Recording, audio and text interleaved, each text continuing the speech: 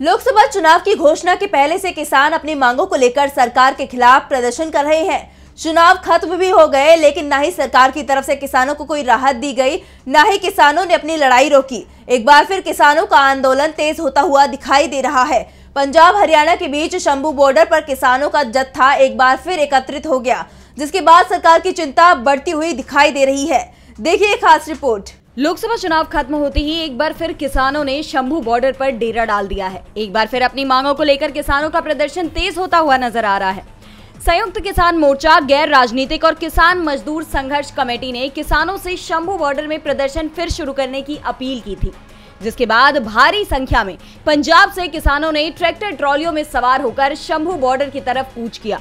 चुनाव के नतीजों से पहले शंभू बॉर्डर पर किसानों का प्रदर्शन ज़ोर पकड़ रहा है।